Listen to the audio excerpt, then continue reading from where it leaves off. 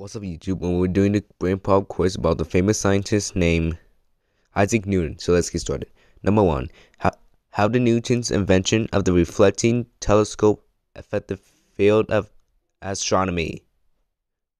A, B, C, or D? Ooh, it allowed astronomers to see clearer images without distorted or lost colors. Number two, according to Newton, what kinds of objects are affected by gravity? Hmm. Let's think about it. Ooh, it's all objects in the universe. Number three.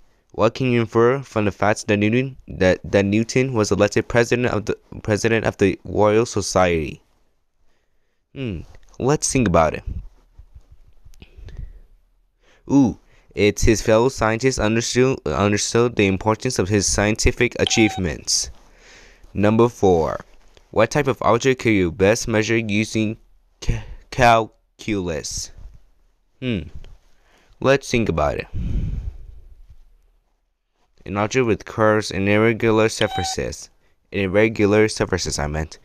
Number five. How's the moon's orbit around the Earth related to an apple falling from a tree?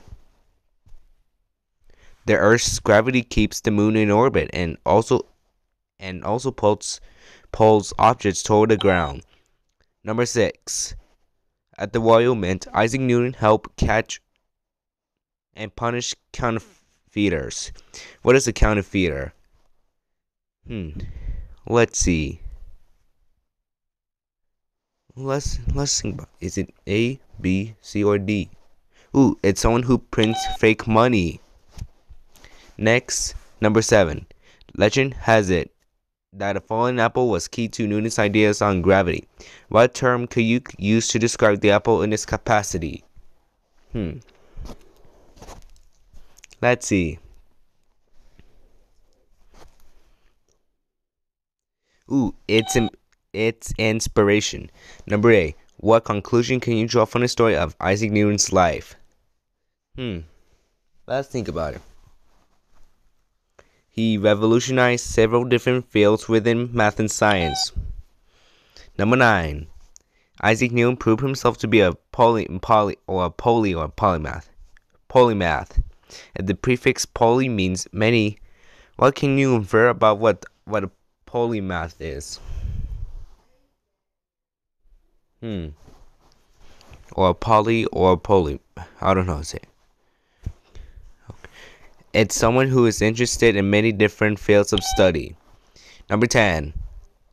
Sir Isaac Newton is buried at, at Westminster Abbey in London. Which of these other famous people is most likely to also be buried there? Hmm. Let's see. Ooh, it's Queen Elizabeth I. Wow. He almost met Queen Elizabeth I in the in a cemetery. Okay, Isaac Newton. It, oops, my apologies. I spelled wrong. But anyways, bye.